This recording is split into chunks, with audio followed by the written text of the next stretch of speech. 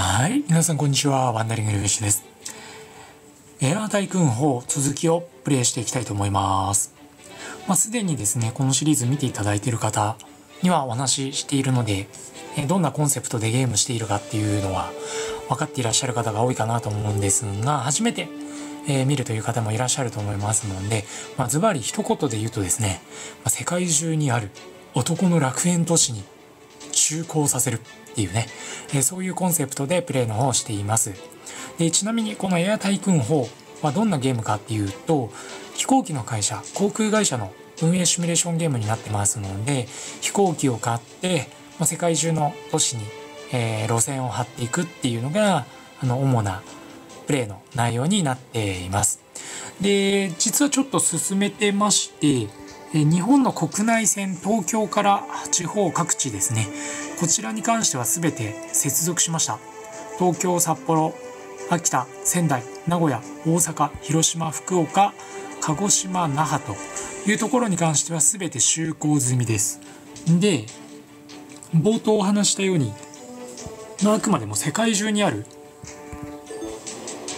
男の楽園都市っていうことなので今回はですね、まあ、ちょっといろいろ考えてはいたんですが、まあ、上海とかね大連とか僕の行ったことがあるところに就航させようかなと思ったんですがやっぱりあの僕はタイが好きだということでですね今回はタイのチェンマイとプーケットこちらに対して、えー新たに就航していこうかなと思ってます。でバンコク便に関しても将来的にはさらに増便をしていきたいなと思ってるんですが今あるですね、えー路線こんだけあります、まあ、例えばバンコク便を見てみると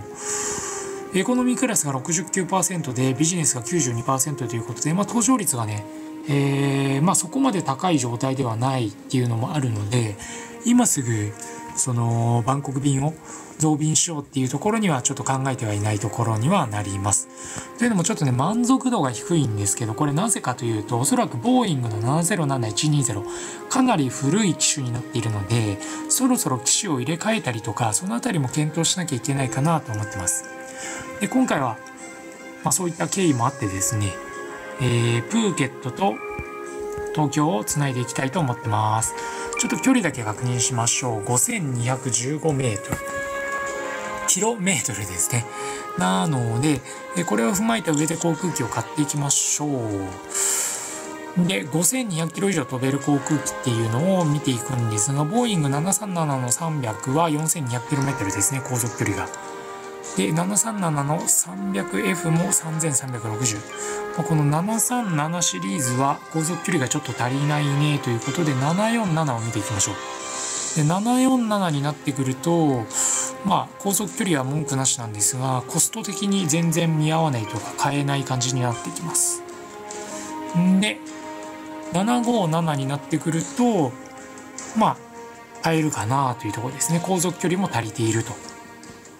で767767ってね今2016年現在主力できっと飛んでる飛行機結構多いと思うんですけどこれもねちょっと手が出ないかなっていうとこなんですよね。でトリプルセブンこれは最新機種ですよね今でも。ということで今回は757を2台発注していこうと思います。プーケット便とチェンマイ便です。でまあファーストクラスも3席用意してでビジネスを19席エコノミーを137席でこれをそのまま2台2切っていった方がいいのかな？貼っていきましょう、まあ、やっぱりねタイは僕大好きなんですけど昼間の観光はもう最近あんまりしてないんですが、まあ、有名どころで言うとワットアルンとかワットポーとかね仏教の国なので、まあ、お寺がかなり、えーいろいろなところにあって実際あのタイのね、えー国民の皆さんも熱心な仏教徒の方が多くてですねお寺にしょっちゅう行かれてるようなんですけども僕も、まあ、そういう意味では1回か2回ぐらいしか行ったことはないんですが一応そのワットアルンワットポーとかはね行きました。ではまずチェンマイ便から。あ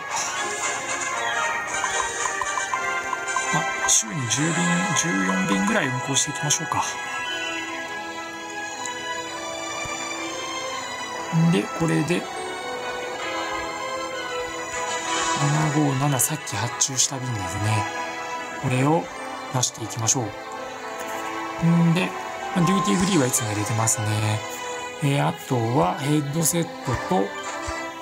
キッズギフト。お子様向けのアメニティですね。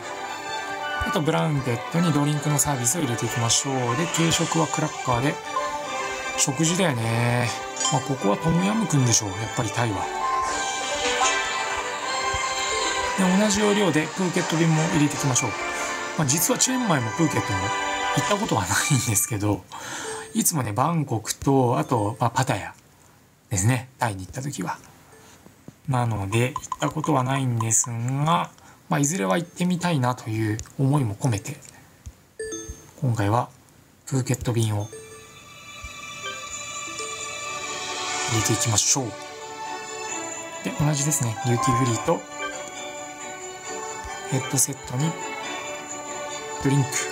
キッズのアメニティにブランケット。で食事はクラッカーに例によってトムヤムクンでいきます。これでちょっとターンを送って路線の状況を見ていきましょう。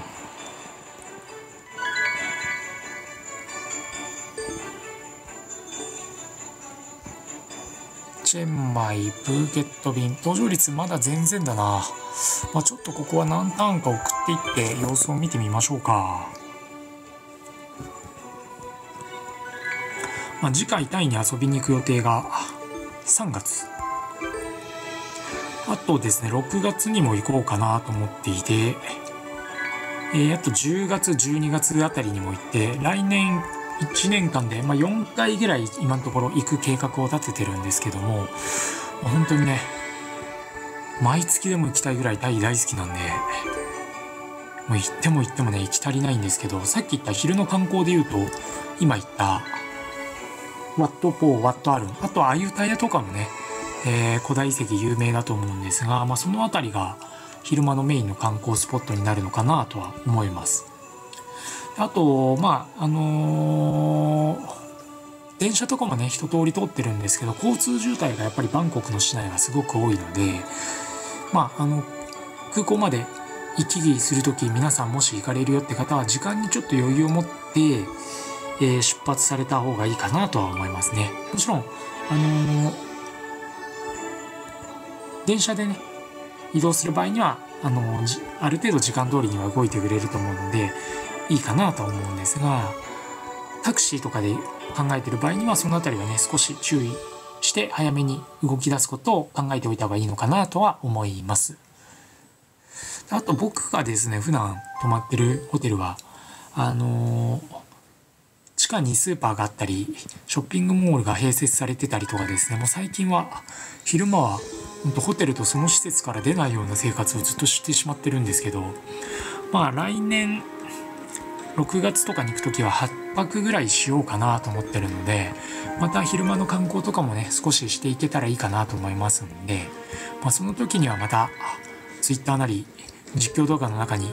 少しその様子を差し込んだりとかしようかなと思ってますんで興味のある方いらっしゃればぜひぜひ Twitter の方も覗いていただければ嬉しいかなと思います。というところでターンをだいぶ送ってきまして、えー、1年経ちましたね。じゃあちょっとランキングを見ておきましょう。まあ、相変わらず最下位なんですが、価値とかはね、だいぶ上がってきてますよね。乗客数とかも19位。乗客数に関しては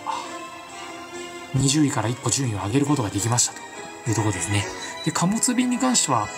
ちょっとあの、ワンダーエアは今のところ運行してないんですが、まあ、今後この辺りもね、えー、ちょっと検討はしたいと思うんですが、最優先なのはやっぱり日本男女を